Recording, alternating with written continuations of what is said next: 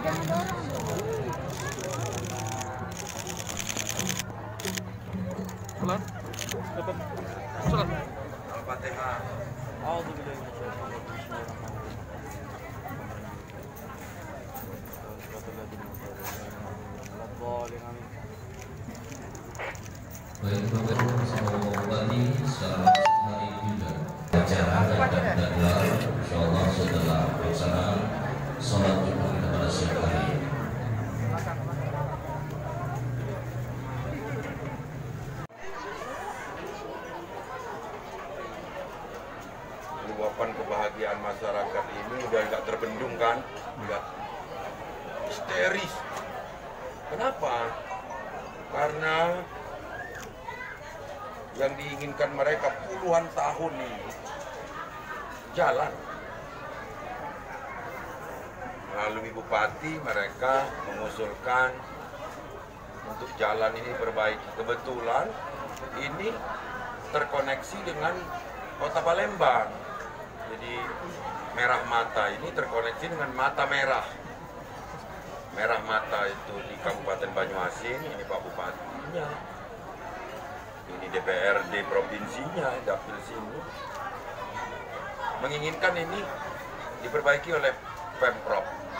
Kita jawab Alhamdulillah selesai ya. Sudah betul-betul layak begitu dan sama dengan fasilitas di kota tapi memang masih Pak Kadesnya tadi setelah bagus ini ada prioritas lain lagi minta lampu jalan. Nanti sudah pasti sudah dicatat sama petugas tadi untuk eh, memenuhi kebutuhan itu. Asalkan Pak Kades terlalu mengingatkan ke DPRD dan ini DPRD hanya dua ada dua yang datang. Terus masjid. Adi Al Makmur desa Merah Mata ini Kecamatan Banyuasin 1 minta diresmikan. Saya cek dulu. Ini dibangun minta uang di jalan enggak karena saya sekaligus mengumumkan bahwa di Sumatera Selatan ini tidak boleh lagi ada rumah ibadah minta di jalan. Bukan hanya faktor keselamatan tapi kita juga menghindari fitnah. Dan yang paling penting adalah kehormatan dari agama yang rumah ibadahnya dibangun itu. Apa pun agamanya. Apa pun jenis rumah ibadahnya. Mintalah donasi dari lembaga atau perorangan dengan cara terhormat. Syukur-syukur ini keswadayaan yang murni datang dari masyarakat Baru saja kita resmikan dan penyelesaian plafonnya tadi sudah secara bergotong royong. Saya, Pak Bupati, dan seluruh jajaran juga. Berikut perusahaan yang di sekitar sini. Bahwa masjid ini akan disempurnakan bangunannya, tapi yang saya tuntut kepada pengurus masjid, kalau bangunannya sudah kita sempurnakan, maka sempurnakan juga kemuliaan masjid ini. Untuk dapat diisi kegiatan-kegiatan peribadatan dan aktivitas sosial keagamaan lainnya. Jadi tidak harus membangun aula lagi, misalnya pun ada akad nikah yang dalam skala besar, tamunya nggak apa-apa, nggak ada salahnya. Selama kebersihannya dijaga. Itu saya ucapkan terima kasih pada Pak Kades yang telah bersama-sama menjaga kehormatan uh, agamanya, juga uh, martabat dari warga sini yang telah sukses membangun masjid 40 kali 35 meter Ini luar biasa loh. Desa bangun masjid 40 kali 35 meter. Ini mudah-mudahan ukuran tersebut uh, semata-mata bukan karena emosional, tapi dibangun karena kebutuhan. Demikian, terima kasih. Uh, Jalan. Jalan, Pak. Jalan, Pak. jalan ini untuk Banyu Asin karena gini loh ya. Banyu Asin ini masuk kawasan Paloba, Palembang, Oganilir, Banyu Asin. Jadi kawasan ini kita hanya tinggal nunggu verifikasi, pergubnya akan segera keluar. Jadi kalau diidentikan kayak Jabodetabek lah. Bahwa mereka harus merasakan fasilitas, termasuk air minum ini yang sedang kita kaji, agar sama dengan yang di epicentrumnya apa itu kota Palembang merasakan pelayanan yang sama pendidikan kesehatan layanan air bersih sanitasi tempat ibadah. Itu sama karena mereka adalah wajahnya provinsi ini. Mereka adalah kawasan ibu kota provinsi.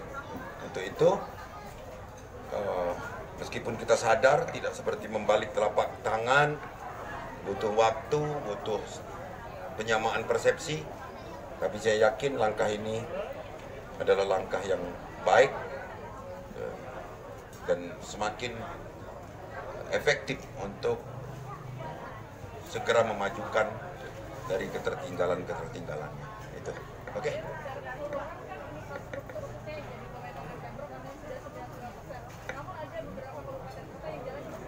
Ya.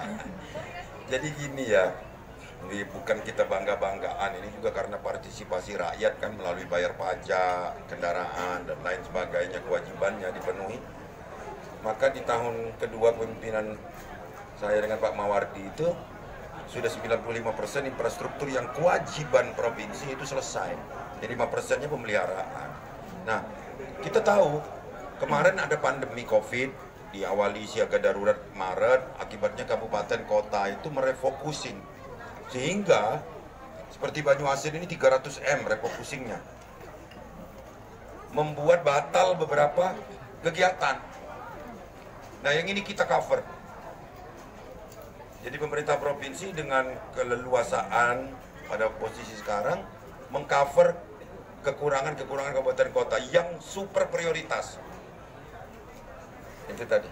Perlu saya garis bawahi super prioritas. Artinya super prioritas itu program yang sudah direncanakan batal misalnya karena refocusing. Sekarang kita pada tahap vaksin. Maka Pak Bupati juga punya tugas, DPRD punya tugas, sampai dengan pemerintah desa punya tugas untuk meyakinkan warga, meyakinkan warganya bersedia divaksin. Sekali lagi saya ulangi, saya tidak memperlakukan sanksi denda kepada masyarakat. Tapi ini harus kita dekatkan dengan cara persuasif. Kenapa Pak Gubernur belum membuat aturan yang bersifat denda? Saya pikir masyarakat Sumatera Selatan sudah banyak paham, tidak perlu didenda-denda. Karena sanksi moral dari masyarakat lebih berat jika kita tidak mau vaksin. Siapa nak neket dengan kita? Namun tidak tidak vaksin. Nah, jadi meskipun yang sudah vaksin pun tetap harus 3M. Memakai masker, mencuci tangan dan menjaga jarak. Nah, jadi nanti Pak Bupati setelah pialnya lengkap untuk kabupaten ini segera lakukan